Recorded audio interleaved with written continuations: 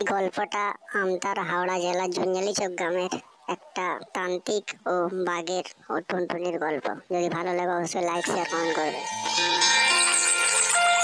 টুনটুনি এই জঙ্গল ছেড়ে চলে যায়। বিশাল বড় বাঘ এসেছে। সেই বাঘ সকলকে তাড়া করছে এবং আমিও তার ভয়ে চলে যাচ্ছি এখান থেকে।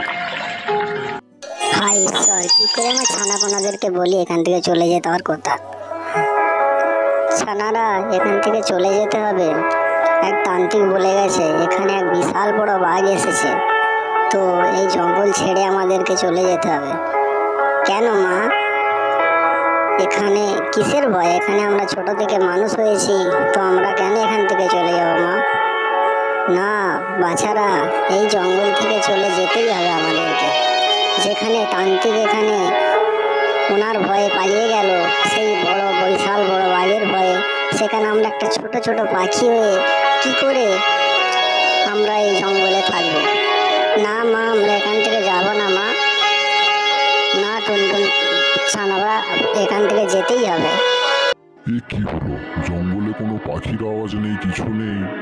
সকলে কি চলে গেল নাকি? মনে হচ্ছে সেই বাঘের ভয়েতেই সকলে চলে গেছে।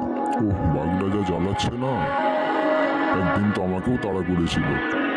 আবার দেখছি বাঘের আনাগোনা জঙ্গলে বেড়ে গেছে, কিছু ব্যবস্থা নিতে হবে। ভাই সেইখানে বাঘ দাঁড়িয়ে আছে। চলো চলো চলো, চলে যায় চলো।